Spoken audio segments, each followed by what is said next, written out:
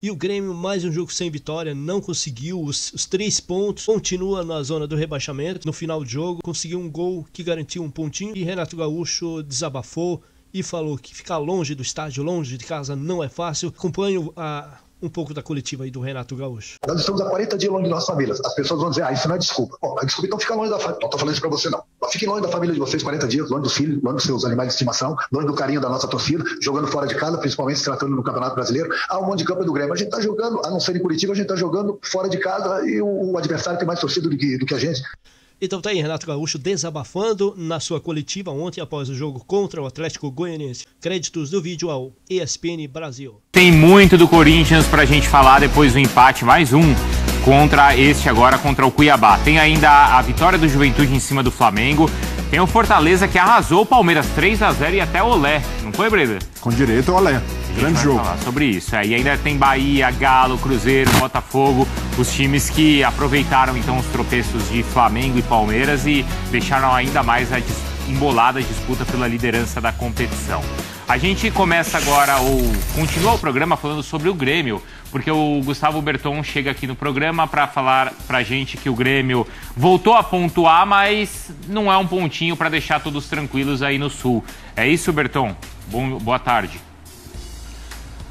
Tudo bem, Bruno? Boa tarde para você, para todo mundo. Não é, não é o ponto assim que deixa tudo tranquilo no Grêmio, mas eh, não dá para dizer que o Grêmio comemorou esse empate contra o Atlético Goianiense, mas de certa forma o Grêmio é, achou boa a, a, a, possibilidade ou pelo menos essa, essa esse estancamento da derrota, da, da, sequência de derrotas. Essa que é a realidade. O Grêmio gostou de ter, olha, vinha numa sequência de derrotas, de seis derrotas consecutivas, empatou com o Atlético Goianiense e é, estancou isso e a partir de agora vai tentar novos rumos. Por que, que o Grêmio agora acredita que pode dar novos rumos para esse Campeonato Brasileiro? Porque a partir dessa quinta-feira, o Grêmio já começa a trabalhar no seu CT, o seu centro de treinamentos, que foi até menos afetado pelas enchentes, né? já recuperou o gramado, o Grêmio volta para casa. E a partir da próxima partida contra é, a equipe do Vasco da Gama, né, que é um, também um concorrente aí, que briga ali na parte de baixo da tabela, o Grêmio já faz esse jogo em Caxias do Sul, no estádio Centenário, no estádio do Caxias. Então, é, o Grêmio acredita que essa volta para treinar o seu CT, é, jogando novamente no seu estado, possa começar a ter voos maiores nesse campeonato brasileiro. E até essa, esses 40, mais de 40 dias fora de casa, né? Foi algo muito citado pelo Renato. Enfim, vamos ouvir o técnico do Grêmio, que mais uma vez na entrevista coletiva citou isso, né? É, esse fato do Grêmio estar fora de casa e também os desfalques que pesaram muito para essa sequência de derrotas do Grêmio. Vamos ouvir o Renato. Nós estamos há 40 dias longe de nossas famílias. As pessoas vão dizer, ah, isso não é desculpa. Bom, é desculpa, então fica longe da família. Não estou falando isso para você, não. Fiquem longe da família de vocês 40 dias, longe dos filhos, longe dos seus animais de estimação, longe do carinho da nossa torcida, jogando fora de casa, principalmente se tratando no Campeonato Brasileiro. Há um monte de campo do Grêmio. A gente está jogando, a não ser em Curitiba, a gente está jogando fora de casa e o, o, adversário tem mais torcida do que, do que a gente. Então, a gente priorizou um pouquinho a Libertadores. Jogamos três jogos, eram finais para a gente, a gente jogava, conseguia a classificação ou nós estávamos fora da, da, da outra fase. Jogadores que foram para suas seleções. Jogadores machucados Todo mundo longe de seus familiares, como já falei. Todo mundo gripado, tosse, imunidade baixa. Mas é, isso quer mais explicações do que isso? É impossível. Então, essas coisas todas as pessoas entendem ou não entendem. Daqui a pouco nós vamos tirar todo mundo do departamento médico, daqui a pouco os jogadores que estão em suas seleções vão voltar e mais os jogadores que vão chegar. Quando eu falei que ali na frente o Grêmio vai voltar para o seu devido lugar, vocês podem me cobrar. Tá aí, né, o Renato. Então, como eu falei, o Grêmio já está em Porto Alegre, treina no seu CT. No domingo enfrenta o Vasta Gama no Estádio Centenário. Depois tem o Palmeiras também jogando em Caxias do Sul com apoio do seu torcedor. Então, tudo isso o Grêmio acredita que pode começar a dar novos rumos. Lembrando que o Grêmio tem dois jogos a menos nesse campeonato, né? Um jogo comandante contra o Criciúma e um jogo fora de casa contra o Atlético Mineiro.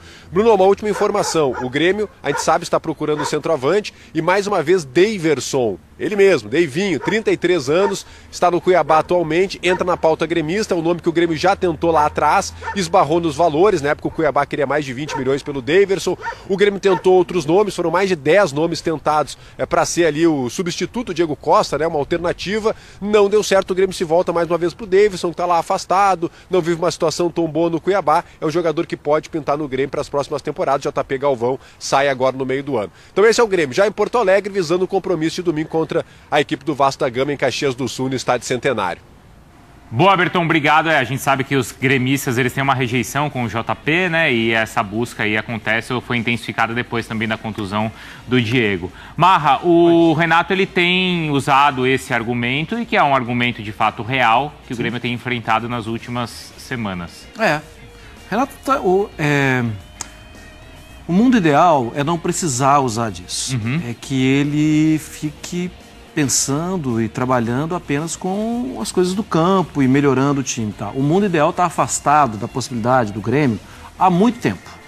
E o Grêmio não teve culpa disso. O Renato tem, de novo, às vezes ele se atrapalha, às Sim. vezes ele sai batendo cabeça. Mas a figura do líder é algo muito forte na carreira do Renato, especialmente no Grêmio.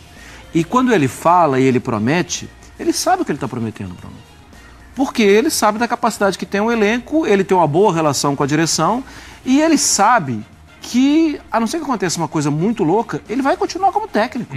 Porque ele é o Renato. São poucos os lugares, os clubes, que têm uma identificação tão grande assim. E ele sabe que ele tem capacidade para isso.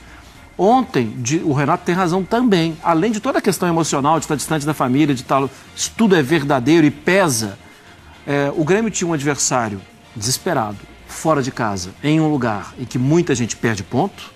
O Grêmio começou perdendo o jogo, o Grêmio conseguiu empatar e o Grêmio estava lotado de desfalques. É. A formação de meio ontem foi diferente da formação que a gente falava antes.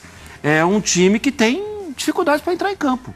O Grêmio, acho, não tem que comemorar por causa da grandeza do Grêmio, mas tem que estar satisfeito com o resultado. É, e o impacto é inegável no time do Grêmio. Foi uma tragédia de grandes proporções. Ficar afastado da família, longe de casa, tem um peso no aspecto emocional dos jogadores. E então isso não é muleta do Renato. E ontem o Grêmio jogou até abaixo de alguns jogos da sequência de derrotas. Tinha jogado bem contra o Flamengo, tinha jogado bem contra o Botafogo, jogos ali até fora de casa, em que o Grêmio não teve sua torcida a favor. E resistiu na, na medida do possível. Agora, com volta dos reforços, com volta dos jogadores, desfalques por lesão, o Grêmio, e voltando para Porto Alegre, que é o principal, o Grêmio tem condições de reagir, mas não a ponto também de brigar na parte de cima da tabela. O Grêmio vai. O ano passado. Mas vai ter uma subida de ladeira grande para sair primeiro da zona de rebaixamento e respirar no campeonato. Ele tem uma sequência de cinco jogos em casa. Então ele vai pegar o Fluminense e o Palmeiras. Aí ele joga como visitante contra o Juventude, vai ser em Caxias. Aí ele recebe o Cruzeiro, então são quatro jogos do Campeonato Brasileiro no Sul. E depois, na sequência, é um jogo contra o hum, Operário, pela Copa do Brasil aí. É mais um ano difícil pro Grêmio. Essas enchentes veio para prejudicar. Não vinha bem na Libertadores. Teve duas derrotas seguidas, quase foi eliminado. Mas o brasileiro tá muito mal. Se continuar assim, vai cair com certeza. Então vamos torcer para o Grêmio conseguir se recuperar. É isso aí. Deixe seu like, seu joinha, se inscreva e até o próximo vídeo.